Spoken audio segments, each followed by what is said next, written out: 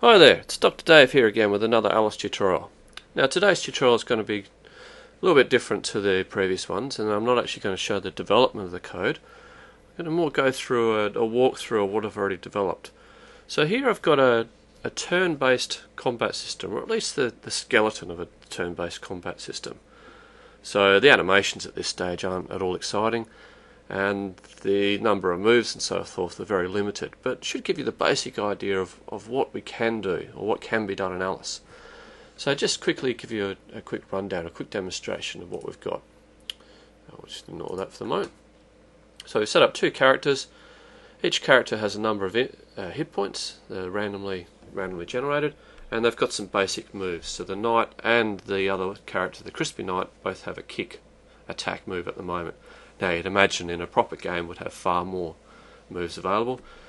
Uh, we are using 3D text to display the number of hit points for each, and the green highlighted one is the one who's uh, who's got the current attack.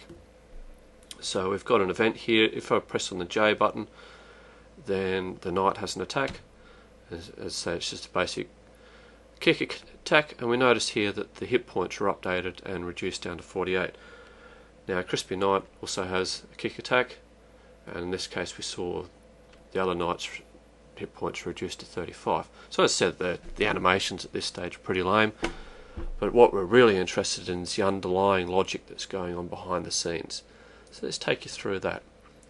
So what are the, the objects I've created? Well I've got uh, an object, 3D text object for representing the Crispy Knight's hit points and another one here for representing the knight's hit points. They both have a text. Now initially the text is uh, just hit points with a couple of question marks there and initially we say is showing as false so we don't initially show that until it's actually been initialized same goes for the crispy knight and we've got a method here for updating let's show show that for updating the text that's actually shown. So this one will actually grab the hit points, which we take in as a parameter, and display that as a string. Now notice here we've used the int as string method, or function I should say, to make sure that we're displaying it just as an integer. If we, if we didn't have that, we'd have a decimal number, so we'd have something, uh, for example, 38.0 being displayed. Okay, so now we'll go to the world and we don't actually use the my, my first method, but we do use this initialize method.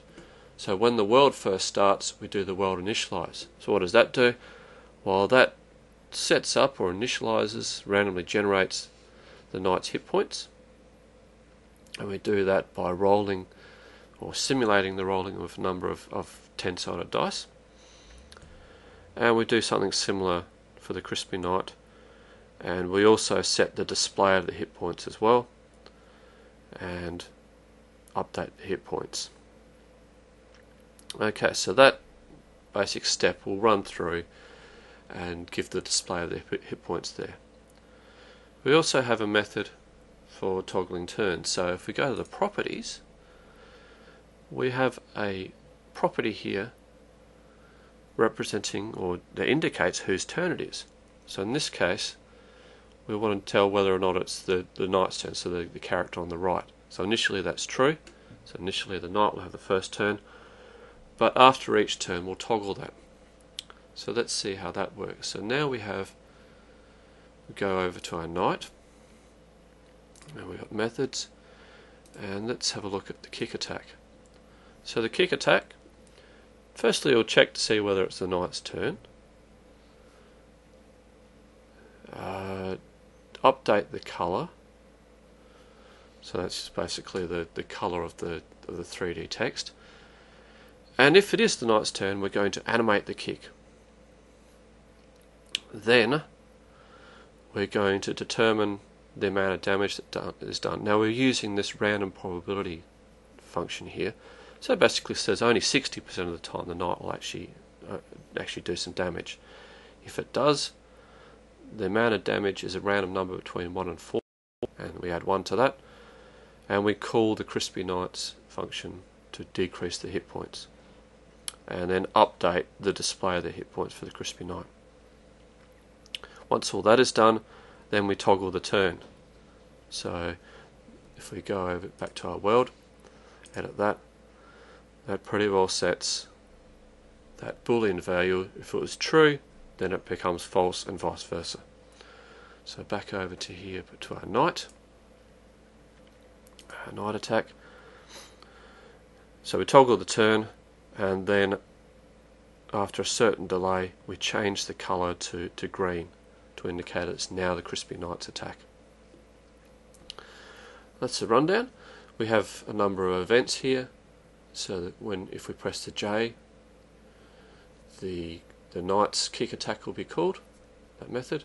If we press A then the Crispy Knight's kick attack will be called. But again we've got these checks up here to make sure that it's actually the, the Knight's turn before we uh, perform an attack. So if it's not the knight's turn, I'm pressing on J, then nothing will happen. Uh, that's let's see if there's anything else we need to do. We've got a method here for decreasing the number of uh, hit points. So I should go back over to here, look at the properties of the knight, and notice here we've created a new uh, object variable or property called hit points. It's a number. Initially, it's going to be one and each time this method is called then the hit points of the knight is decreased by the amount of damage that's done. Okay, that gives you an overview. I know that uh, there's a lot to take in there, there's probably a lot more details required, but just to give you a flavour of what's going on there, and hopefully in, in future tutorials I'll go through those steps in a lot more detail and actually show the development of the code. But hopefully that gives you a bit of an idea of what we can do, the underlying logic, and maybe you can take some of this code and, and sort of uh, improve it and add some really cool animations and so forth and change or add additional attacks as well. Okay, hope that's been useful. Uh, thanks for listening again and I'll catch you next time.